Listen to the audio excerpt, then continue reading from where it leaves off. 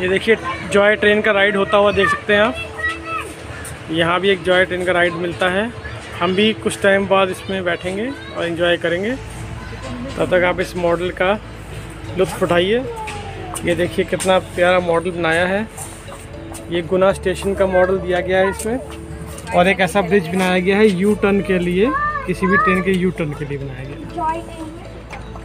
ऐसे ब्रिजेज आपको नहीं मिलेंगे, बहुत कम देखने को मिलेगा। ये देखिए, इस तरीके से फ्लाईओवर स्टाइल में ब्रिज बनाया गया है।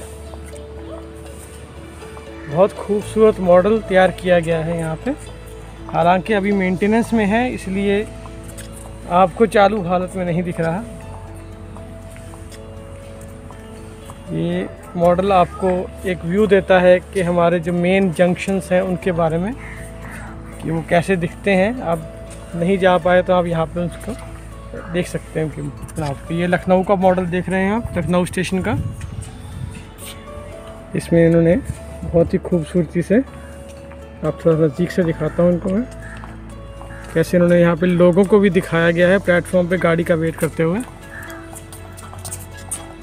एक ट्रैक ऊपर की तरफ़ जाता हुआ। और साथ साथ हम चल रहे हैं। अब हम यहाँ पे आएँगे और आपको दिखाएँगे बॉम्बे का छत्रपति शिवाजी स्टेडियम। ये एक बहुत पुराना स्टेशन है।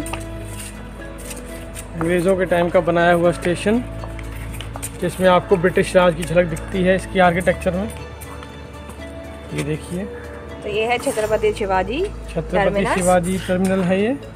और अब हम पहुँच गए हैं ये मेन बॉम्बे का स्टेशन माना जाता है। इसे पहले वीटी स्टेशन भी कहा जाता था विक्टोरिया टर्मिनल ये नाम से फ़ेमस था। और इसके अपोजिट आप देख सकते हैं बहुत बड़ा इंजन रखा गया है। बहुत बड़ा स्टीम इंजन है ये लोकोमोटिव इसके साथ हम चल रहे हैं। एक बहुत ही बड़ा इंजन दिया गया, दिखाया गया है, इसमें एग्जीबिशन में रखा गया है। और ये देखिए, इसके सामने आप कोलकाता का स्टेशन देख सकते हैं, चेन्नई स्टेशन देख सकते हैं सॉरी चेन्नई स्टेशन है ये। This is the Chennai station अगर आप इसको पढ़ सकें तो। मैं थोड़ा जूम करने की कोशिश कर रहा हूँ। देखिए, ये लिखा है चेन्नई सेंट्रल ये चेन्नई सेंट्रल का मॉडल बनाया गया है। हावड़ा ब्रिज का लुक दिया गया है कि हावड़ा ब्रिज से ट्रेन जाती है।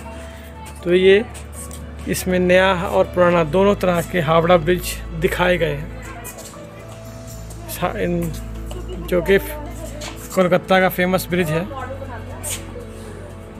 तो ये हमारा एक मिनिएचर मॉडल है हमारे इंडियन रेलवेज का, दिखाया गया है जो। ये आप इस रेल म्यूज़ियम का गाइड मैप देख सकते हैं। पूरा डिटेल्ड गाइड मैप दिया गया है यहाँ पर। ये एंट्री एरिया है। और यहाँ से इस तरीके से हम बनाया गया है यहाँ पर।